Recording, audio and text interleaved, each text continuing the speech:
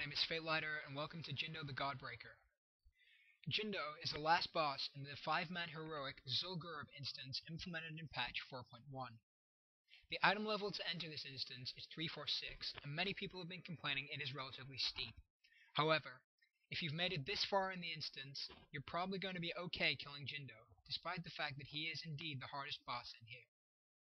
Jindo's first ability of note are the anti-magic zones he places on the floor. For those of you who don't have a brain, they are the green orbs. Pretty much, the aim of this phase is to keep yourself inside when Jindo casts, and to keep him out for as long as possible to prevent any of your damage going to waste. The idea is to keep repeating this, avoiding his damage attack that you can see there, whilst keeping the rest of the raid alive and keeping aggro on Jindo on the tank. This is relatively simple, and not many people wipe here. In Phase 2, Jindo will turn into his Godbreaker mode, and three chains called Hakkar's Chains will spawn on the field. This is the most complicated phase of play and will require each of your team to know exactly what they're doing. Your tank in this zone has to pick up the spirits from the platforms below and tank them close enough to a chain. Meanwhile, your DPS will have to stand at each of the chains, one on each chain. Then, when the spirit that your tank is tanking decides to charge, it will land on top of one of the shields, smashing it. This will then allow your DPS to switch and DPS the chains, which is the ultimate goal of this encounter. Meanwhile, spirits, as you can see on the screen now, will be continuously spawning, trying to attack your healer, who will no doubt be the only person generating enough threat against them for them to attack. Another obstacle you have to watch out for here are the white zones on the floor that are puffing outwards. These are a miniature void zone and must be avoided as they do severe damage to anyone inside them.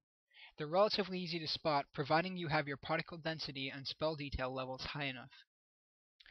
The encounter pretty much revolves around your tank tanking the spirit and your DPS knowing to stand on the chains.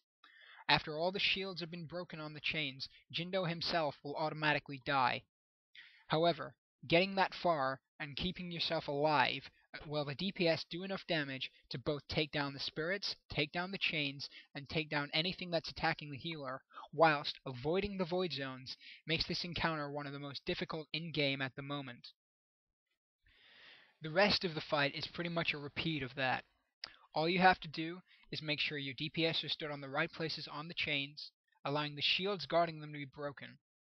Once the shields are broken, the DPS can then switch to killing the chains, and the fight is pretty much over from there. If your healer can manage to keep the rest of the group up, and you have 3 DPS, your tank, and your healer alive as you go into this final phase, there should be no problem whatsoever.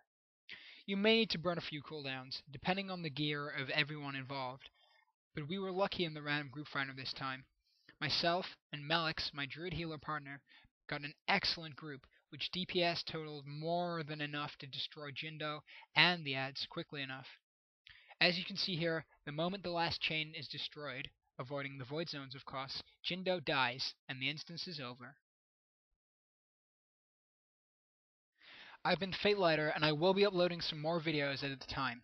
Feel free to subscribe, or failing that, sign up on Twitter. Just search Fatelighter, keep up to date.